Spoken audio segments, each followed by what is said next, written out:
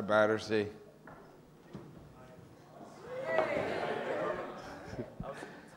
it's going well. It's all right. I tell people I'm Canadian is because I've been coming to London now for a while. And when you guys hear my accent, you assume I'm American, and then you treat me like a piece of shit.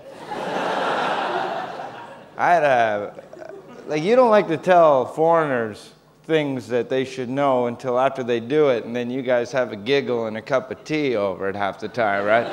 like, I didn't know me getting into a minicab was just me as a foreigner getting into a car, not knowing where I'm going, with another foreigner who doesn't know where the.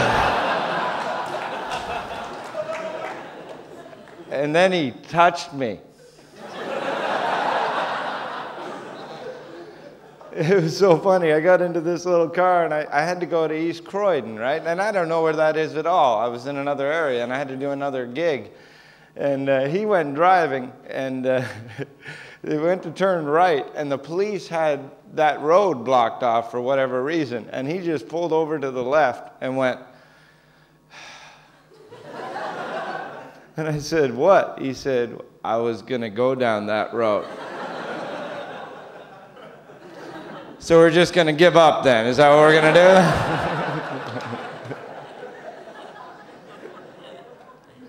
I am, uh, I'm going to tell you a bit about myself. Uh, first of all, quit assuming we are American. Like I had this, uh, uh this cab driver here say to me, uh, you're from Canada. I said, yeah. He goes, well, you just do what the Americans do anyway. Like, try living next to them with no weapons. what do you want us to do? I mean, we still have cannons in our military. Like, I mean, can you imagine a nuclear sub off the coast of Canada just baffled, looking at us, just. Uh, uh, Captain, there's a cannonball coming at us. Should probably move a bit to the left, I think, anyway. I'm uh, 36 years old. I haven't felt my age so much until recently. I was back at my, my parents' place. I had to look after this nine year old kid that lived next door to them. And I asked him what he was hoping for for Christmas at the time. He said, a Sony PlayStation and Mortal Kombat 3. And I didn't know what that was. So I said, What's that? He said, Duh. Now I didn't care what the game was, I just wanted to kick this kid in the head, right? He said it's a video game where you jump to different levels, you can freeze people, throw fire, rip the hearts out of characters, and blood drips on the ground. Went on for 20 minutes and how cool this game was, and then peed his pants telling me how great this game was. And this is when I felt old. He said, Do you remember what you got for Christmas when you were nine? Do you know how hard it is to make kerplunk sound that exciting? He said, Well, you got these sticks. you put them in this tube and you drop marbles down and you, you pull a stick one at a time, and if a marble falls, I don't know.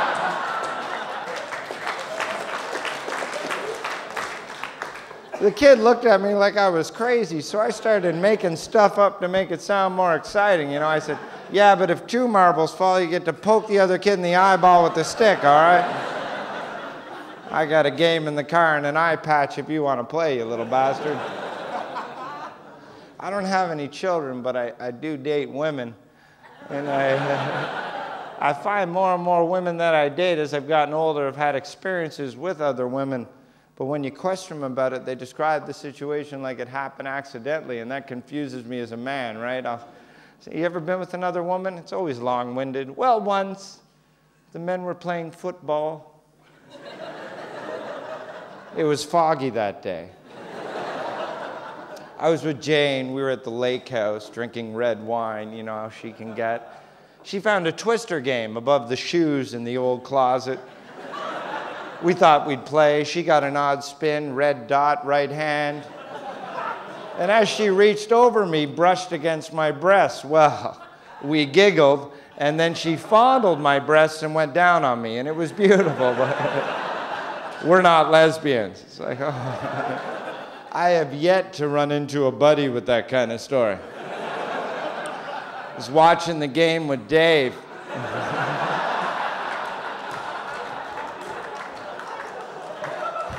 It was a little boring in halftime. So we thought we'd go out and play a little football, like one on one, right? Well, he came down on a breakaway, tried that Beckham move, but I'd seen that, right? So I went to meet him and we got tangled up. And as I fell over him, cupped his balls. Well, well we giggled and. Uh, then the next thing you know, his cock was in my mouth, you know? Now,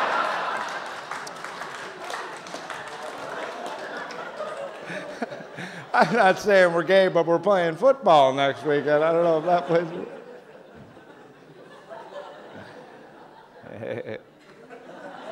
you guys have had a few football games, haven't you? I used to think you get to know a woman long enough, you'd have sex without a condom, and that would be the best sex you could ever have. But it's impossible to enjoy sex without a condom because you women yell at us when we're going to come, and that's probably the one time you should shut up for just a minute, right? it's always the same. You're working it, it's like, oh my God, baby, I'm going to come. Not inside me, okay? Not on my belly. Fuck, how much time do you think we have? All right, I'll go out on the balcony then. How's this? Sorry about your barbecue. and your kid's head.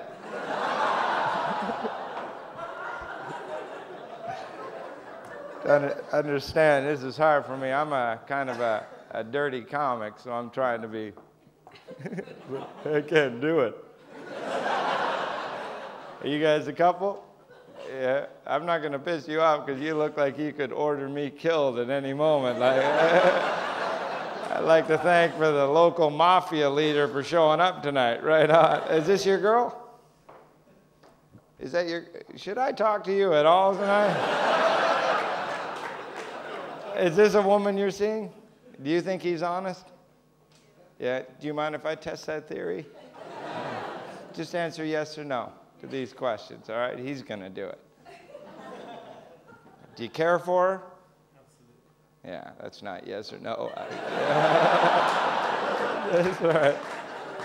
All right, you can answer anything you want because I know he's the guy you ordered to kill me. Is her happiness important to you? At times. Are you an honest man? Sometimes. Sometimes? So there's not going to be one yes or no to any of these questions.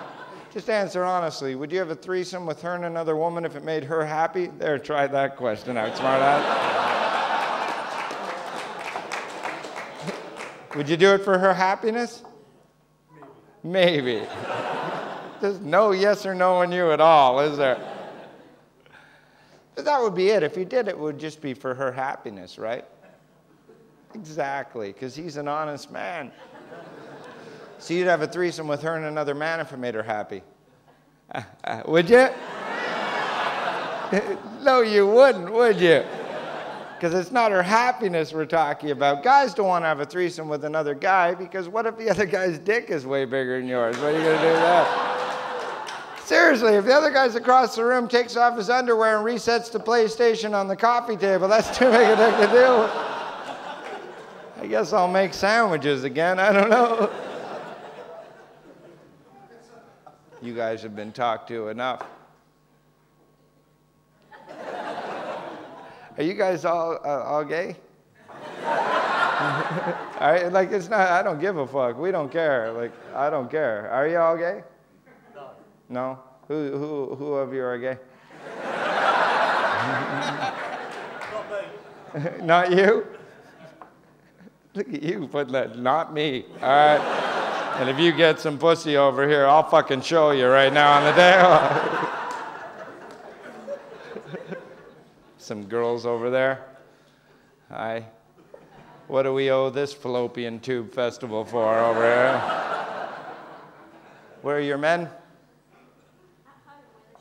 At home where they should be. Yeah, you women unite. But if there's a real war, we are stronger and will kill you all.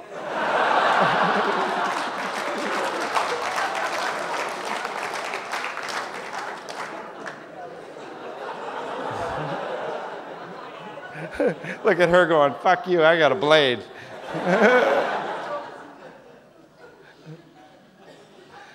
Any 19, 20, 21 year old men here? Men in their young 20s? Hey, all right, how old are you?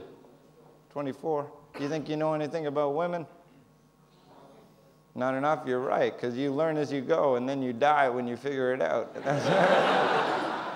I'm going to ask this question just, uh, let's say you're the last man on earth. You're treading water in the ocean. You're about to die. You're really tired. You see an island very close. And on that island are 15 of the ugliest naked women you've ever seen. All of them overweight, no teeth, big ZZ top twats.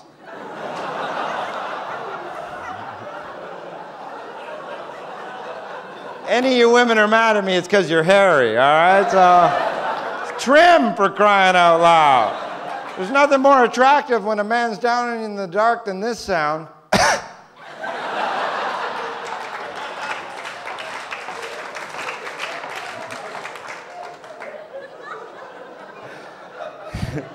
There's another island 15 times the swim, and on that island are 15 naked Playboy bunnies calling to you as well, trimmed. And they're uh, somewhere on the way to that island is a great white shark. Which island would you swim to to spend eternity? The ugly island or the Playboy island? The Playboy island. So it's a very horny, think with your dick 24 year old answer. Because everyone over 30 here has seen Jaws.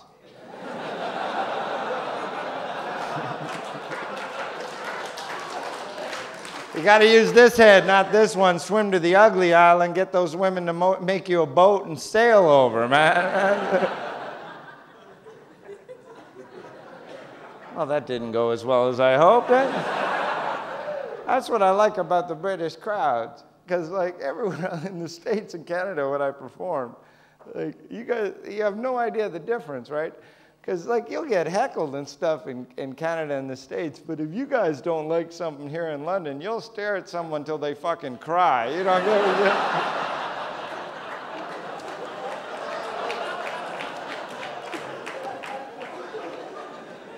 mean? Is it not amazing to you that we are basically your children that fled to Canada and we got there and a, a small pocket of French settled into an area we call Quebec and we hate them too?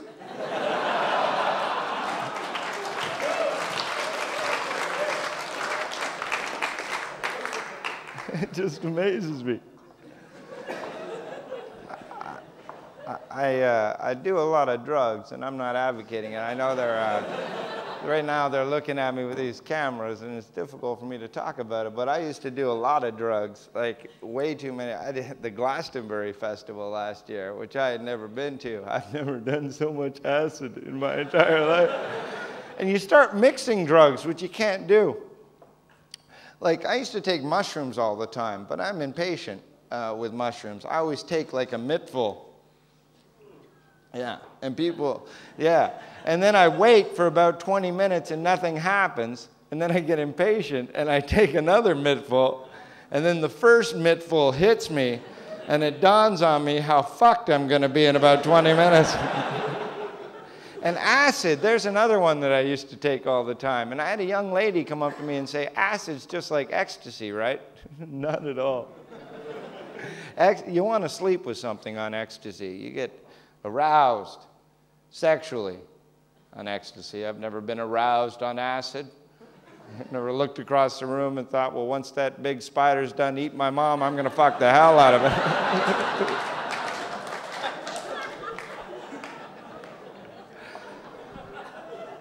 as the commercial people figure out what joke they can do.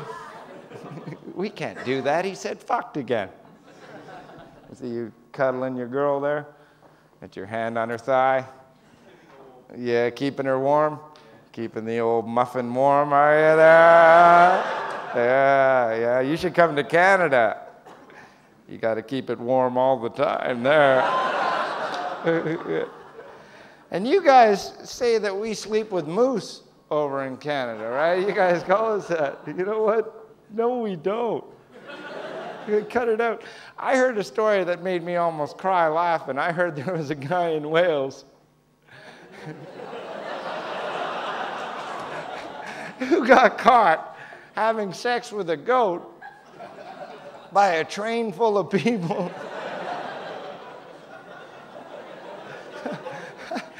don't know how much about having sex with farm animals, but I know if I was gonna, location would be a key. Am I gonna shag that goat? But not until the 510 comes by. And you got to give the guy credit because goats are not as attractive as sheep, but at least, at least you got horns to hold on to.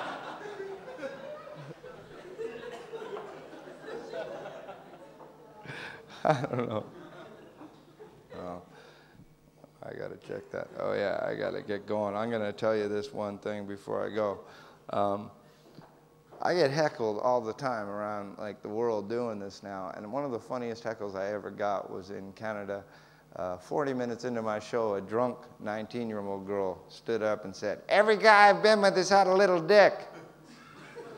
uh, that's a weird heckle to tell me if I'm doing I said, What? She said, Six guys. Little dick, little dick, really little dick, little dick, little dick, little dick. And then sat back down and went, Hmm. I'm the wrong guy to tell it to. I said to her, Look, I don't want to be the bearer of bad news or honesty, but have you ever thought maybe you just have a big twat?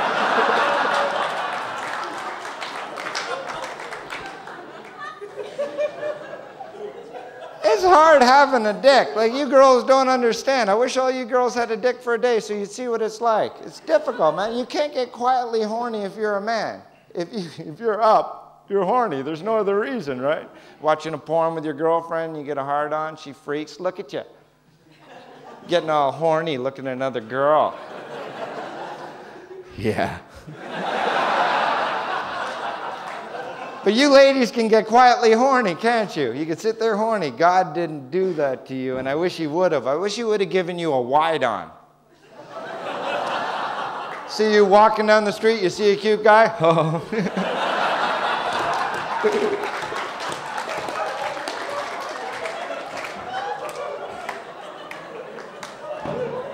Battersea Jongleurs, uh, you always welcome Canadians well, and I appreciate it. Thanks a lot, and I'll see you later. Yeah.